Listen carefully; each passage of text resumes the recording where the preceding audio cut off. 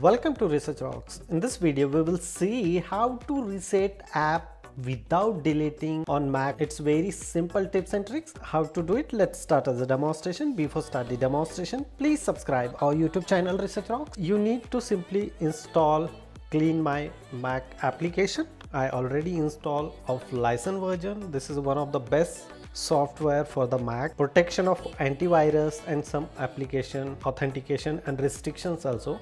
So click here application uninstall menu and which application you are facing the problem regarding the hang maintenance not working. You already decided I want uninstall this application and again reinstall this application. But no need to uninstall and install. You just reset the application. You select here and click here. Look at this here. Uninstall options are come. You just simply click. After clicking here reset options are available. You just click and after that look at this here reset and now I am reset this application and now the this particular application is completely renew as a by default setting is automatically currently the application is reset. Using these tips and tricks you can reset the application and save your time. Hope you like this video. Before leaving please subscribe our youtube channel research rocks.